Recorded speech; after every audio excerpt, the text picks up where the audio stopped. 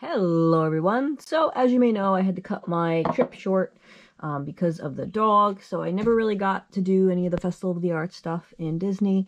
Um, so this was kind of making up for it. Um, I decided to finally purchase from this artist I've been following for quite a while. Um, they had recently done for Valentine's Day a Robin Hood uh, series. I think there's one more that they need to finish still. Um, so when that came out, I was like, this is perfect. This will at least scratch my art itch and support an artist that I've been following and just never really pulled the trigger to buy anything because nothing really like super spoke to me. Like I love their style, but there's nothing I needed. So until now, obviously. So yeah, let's see what these prints are like. This is the first time I've ordered uh, something from them. Shipped in a nice tube box.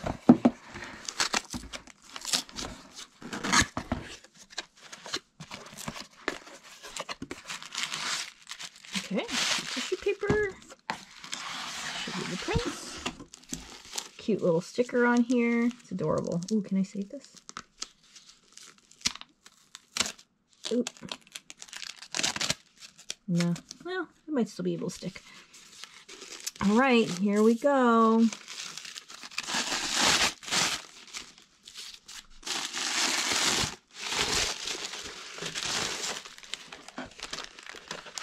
Oh, and we have a little postcard. Oh, that's nice. Cute. I just love the style.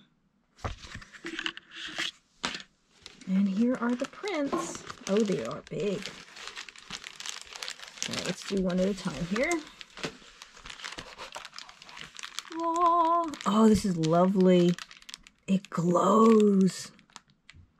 Oh, the light is beautiful on this. I love it. This is way better than it looks online. Oh, I love this.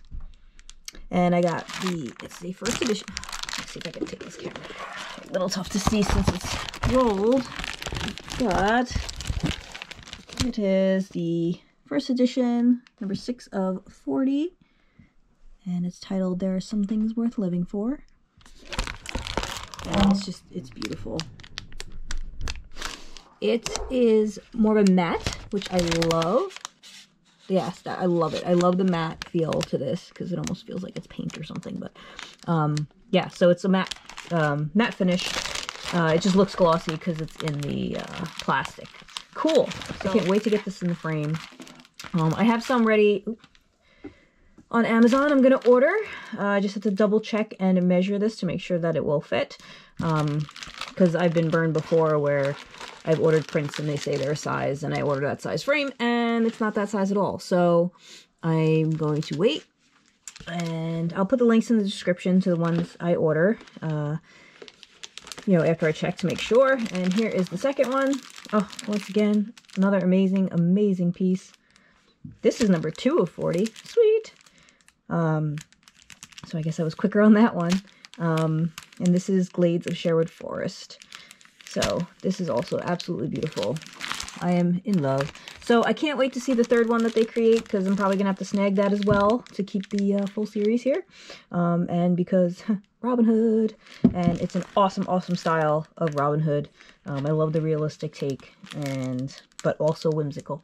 So yeah, can't wait to get those hanging, and thanks for watching. Please like, comment, subscribe, share, all that good stuff. Check out the artists, they're awesome link in the description to everything I speak about here. So yeah, bye!